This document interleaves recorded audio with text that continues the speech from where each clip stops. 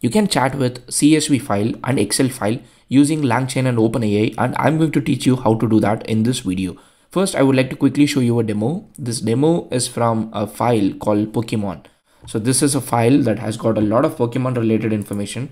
Looks like this. It has got a Bulbasaur and all these Pokemon names. I'm, I'm, not, I'm not sure. Like the only thing probably I know is Pikachu. So I'm going to look for Pikachu. So Pikachu is electric, some other details, 320 and all these things with respect to the column. So what I'm going to do is I'm going to first ask the system that what is Pikachu stats, Pikachu stats. Okay, so this is the question that I've asked to this CSV and uh, using OpenAI and LangChain and we're going to see the response. The response says Pikachu has a total stat of 320. Okay, let's go verify. Pikachu has a total stat of 320 cool that's correct and then hp of 35 attack of 55 35 55 and then we go on and then see we have got a lot more information most likely we can assume probably it is correct because the speed of 90 and the speed of 90 and we have got one and false so that means that this system whatever we have built here is not hallucinating it is exactly answering from the input csv so you can chat with the input CSV using LangChain and OpenAI. And how do we build that? That is exactly what this tutorial is going to be. This code is not my original code. I came across this code on Twitter, which was quite popular. As you can see, this is a viral tweet and I was quite interested in replicating this result for my own purpose. So what this code is doing here is it's trying to use LangChain, which is an amazing library if you want to deal with large language models and of course the king of large language models at this point OpenAI. So we're going to use LangChain and OpenAI to build a system where we can chat with CSV file and Excel.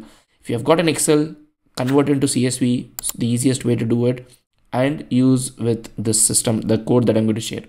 This entire code will be shared in the YouTube description. So you don't have to take any notes while you're watching the video. All you have to do is watch the video till the end so you know what we exactly we are doing at every single point. The first thing that you need to do is you need to install LangChain and OpenAI. ChromaDB was a dependency. I got an error that ChromaDB was not available, so I decided to add ChromaDB to my pip install.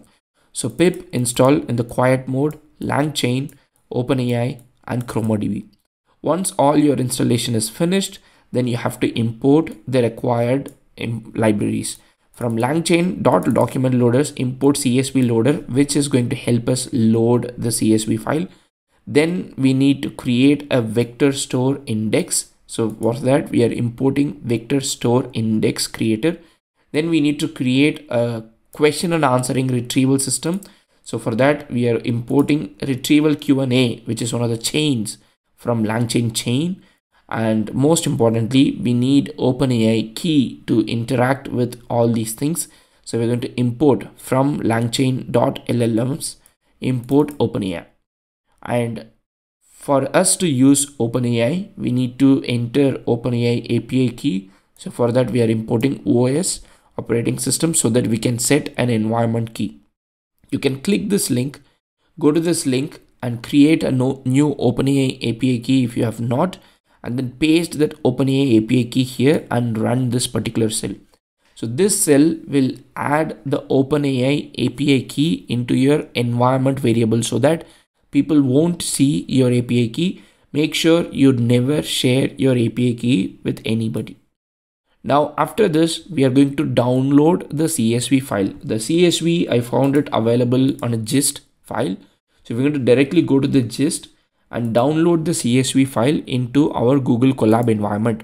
So when I wget, we're going to get the CSV file into our Google Colab environment. And as you can see, I'm doing this bang, which is to run a shell script, a bash script, wget and the CSV file. And we have downloaded the CSV file, which is about like 43 KBs. After we have downloaded the CSV file, now we need to load the document. So the CSV file at this point is only present inside our local environment, which in this case, I'm running it on Google Colab. So inside Google Colab, if you're running it on your local computer, so it is inside your local computer, but still it is not loaded into the current session. So for that, we need to use CSV loader and give the file path with pokemon.csv. in my particular case the csv is currently in my home folder like wherever this code is getting run. So i'm just giving the relative path.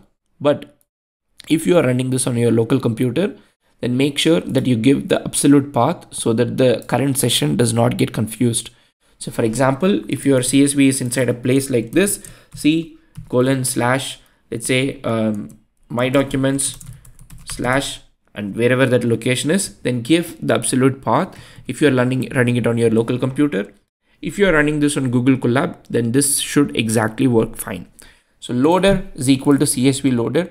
File path is equal to pokemon.csv in quotes. So at this point we have created a loader document.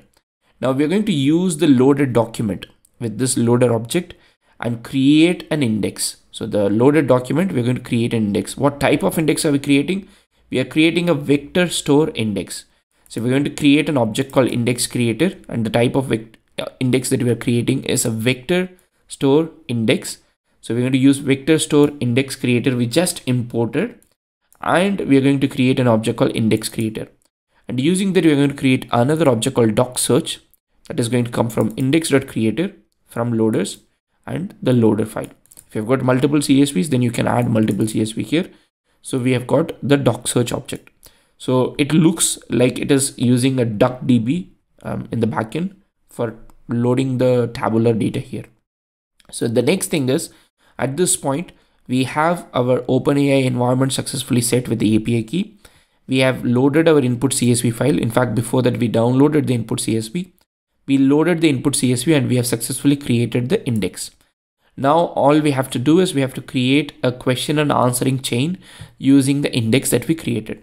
So retrieval QA is a question and answering chain from LangChain. We're going to use retrieval QA and then we are saying that we are going to use the large language model from OpenAI and the chain type is stuff and the retriever is going to be this. So from doc search dot vector store as a retriever and what type of input we are going to give, which is a question because we're building a question and answering system. Now this chain is created. Now all we have to do is create a query and send it to this chain. The chain will get a response back and then we can print the response. Let me quickly give you a run through of this whole code and then we will see a couple of more examples. And I'm also going to highlight a problem that I found. So now first thing is we're going to install the required libraries, LangChain, OpenAI, ChromaDB. Then we're going to import all the required libraries. Set up the OpenAI environment key. If you are doing it on your local machine, all you have to do is this only once. You don't have to repeat it every time you run this code. But if you are going to do it on Google Colab, you have to repeat this every time you open this particular session. The next thing is download the CSV file or if you already have the CSV file, give the right path of the CSV file here and create the loader object.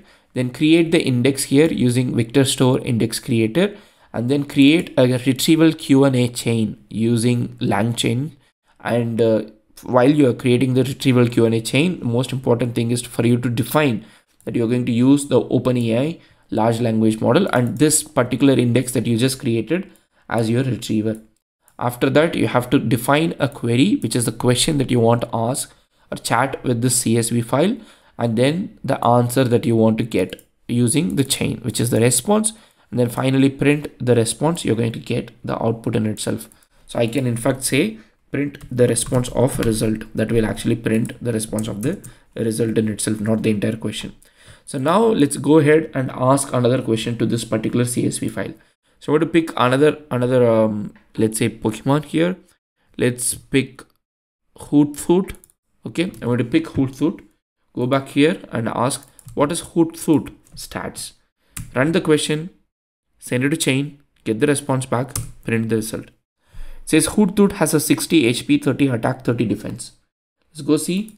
Hoothoot has Hoothoot ideally has different information, and that for us is the hallucination. Oh no, it, it is actually right. 60, 30, 60 and 30, 30 defense. So the 60 is HP. Let's go and then see the first, second, third, fourth, fifth, sixth. First, second, third, fourth, fifth, sixth. So correct. Like I'm so sorry, AI. Don't mistake me because you are correct. So we have 60 HP, 30 attack, 30 defense, and we have all the information about Hoothoot. Let's ask the question for something else. So I'm going to ask the same question for um, the first one. I've like many years back when I watched Pokemon, I remember Bulbasaur. Ask the question, then see Bulbasaur has a 45 HP, 49 attack, 49 defense. So go see 45 HP, 49 attack, 49 defense. So absolutely working fine. So now can I ask slightly more sophisticated question like what is the most powerful Pokemon in terms of HP? Run this question. So what I'm expecting is to give me the largest, highest HP. So it says Kyurem Black. Kyurem has the highest HP stat.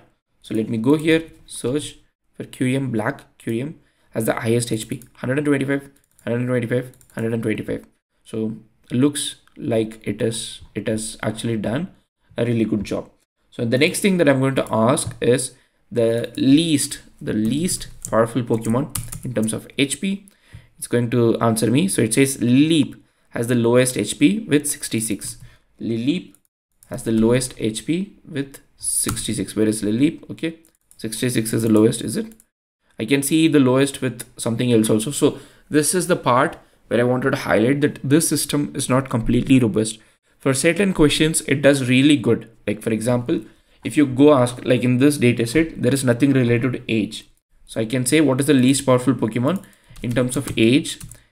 Most likely it will say, okay, Pikachu since its first generation has the lowest stat. Okay, it says stat. So let me ask the question, what is the average age? What is the average age and when I ask this question it it actually answers so even then you can see that it is being it is hallucinating because there is nothing related to age here but it is still hallucinating so the point that I'm trying to make here is this system is good as long as you can add a final layer on top of this that can validate if it is hallucinating. Because if it is not then you can see that uh, the data set that we have given does not have anything to do with age. Like the data set that we have given in fact we can ask what are the columns in the what are the columns in the document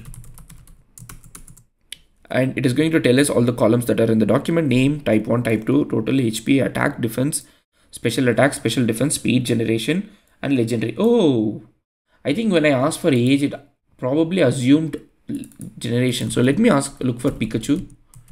Okay so maybe maybe i don't know. Maybe it looks for generation i'm not sure. But my point is this system actually hallucinates a lot. So if you're going to use it then you need to have some kind of validation layer and then it should understand or it should validate that the answer coming out of this is not um, it's it's it's not actually you know some some random hallucination. Let me ask another question. Do you have a column called age? Ask the question get the response. Okay no no we don't have a column called age. So this is good. So you need to implement some kind of validation like this when you get user input but other than that um, for for a lot of other tests that i did the system seems to be working quite fine so why did i make this video even when i thought the system is not perfect first i wanted to give you the liberty of playing around with this thing because this is quite exciting a lot of enterprise data in a lot of companies are still CSV files or tabular files are from SQL. So if you want to use that, this is perfect solution for you to ask question with that. But again, a lot of enterprise files, you wouldn't want to have hallucination with that when you ask question and answer. So consider this more like a prototype or learning exercise where you can build a chat system with CSV and Excel file. Like I said, Excel, you can convert it to CSV, start using it using LangChain and OpenAI do not trust everything that comes out of the system make sure that you have a proper validation and a proper check to see whether this works fine other than that this is an amazing system like we have come so far especially with the langchain and openai how we can interact with the kind of documents that we can interact with so i'm really excited about this future i'll link this document as a file in the github repository so you can directly start using it other than that, the only thing that you need is OpenAI API key, which you can get from this particular link. I hope this tutorial was helpful to you in learning how to create a solution, a Python code that can help you to chat with CSV and Excel using LangChain and OpenAI. If you have any question, let me know in the comment section. Otherwise, see you in another video. Happy programming.